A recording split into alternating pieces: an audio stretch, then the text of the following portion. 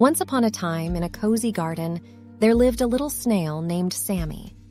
Sammy was a small and slow snail, but he had big dreams and a curious spirit. Every day, he would crawl around the garden, exploring every leaf and flower. One sunny morning, as Sammy was gliding across a leaf, he noticed a caterpillar munching on a juicy green leaf. The caterpillar seemed sad, and Sammy decided to strike up a conversation. Hello there. Why do you look so down? asked Sammy. The caterpillar sighed and replied, I wish I could fly like the butterflies. They're so graceful and colorful, but I'm stuck crawling on the ground. Sammy listened attentively and smiled. He had an idea. Don't worry, said Sammy.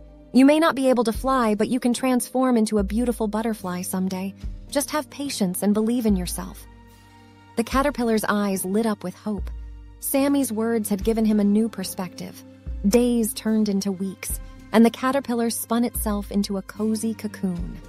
Sammy watched patiently, knowing that something incredible was about to happen.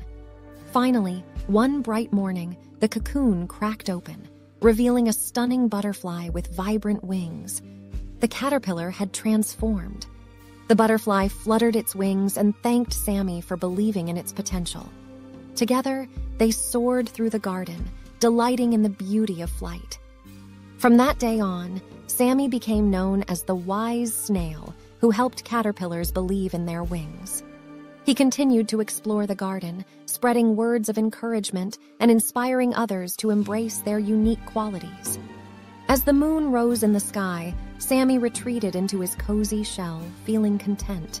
He knew that even the smallest creatures could make a big difference with their kindness and support. The end.